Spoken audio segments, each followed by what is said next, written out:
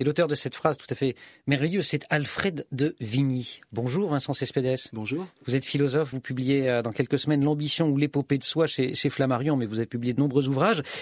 Vigny, c'est un poète, alors, vous aimez bien ça, vous, hein, vous êtes philosophe, mais vous pensez qu'on a besoin d'être philosophe estampillé pour avoir un discours philosophique, donc vous êtes allé chercher un poète. Oui, enfin c'est un poète, un militaire, euh, un ami de Victor Hugo, du Cénacle, donc euh, c'est un penseur, tout simplement, un intellectuel. Alors dans quel contexte Vigny dit-il une vie réussie est un rêve d'adolescent réalisé dans l'âge mûr. C'est dans le journal d'un poète, mais en tout cas c'est une phrase tellement merveilleuse qu'il faut la sortir. Elle, est d'une puissance énorme.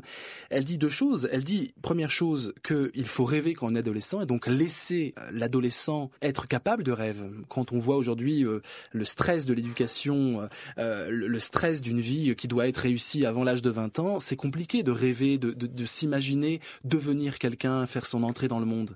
Et puis la deuxième chose importante, c'est qu'il ne faut pas trahir ses rêves d'adolescent. Et ça, c'est très très intéressant. Ça veut dire que finalement, réussir sa vie, c'est garder euh, l'imagination, la, puissance euh, de rêve et la puissance d'ambition de l'adolescent tout au long de sa vie. Il y avait un petit piège dans le QCM que vous proposiez, hein, puisqu'on donne des choix sur franceinfo.fr quand on joue un jour une question.